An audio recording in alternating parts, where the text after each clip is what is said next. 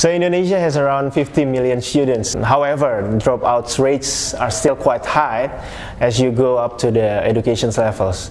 Uh, YCAP's mission is uh, to improve uh, welfare through education and also the innovative uh, financing. YCAP uh, microfinance program aims to enable uh, women uh, to improve the stability in the family, uh, leading to opportunities of sending their children uh, to the schools and providing higher educations. YCAP has helped more than 116,000 mothers with their small businesses, uh, such as uh, street food uh, stall and vendors. Terima kasih kepada Koperasi CAB yang telah memberikan pinjaman untuk usaha saya dan mudah-mudahan berjalan lancar atas doa dan uh, bimbingan-bimbingan dari kakak-kakak YCAB.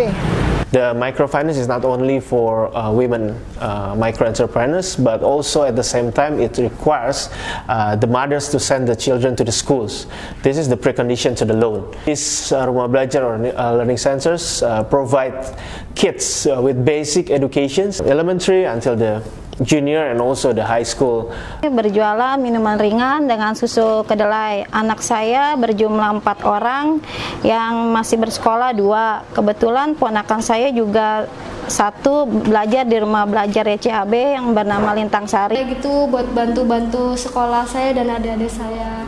Jadi alasan saya sekolah di sini nomor satu ke satu untuk menggapai cita-cita saya untuk jadi pengusaha.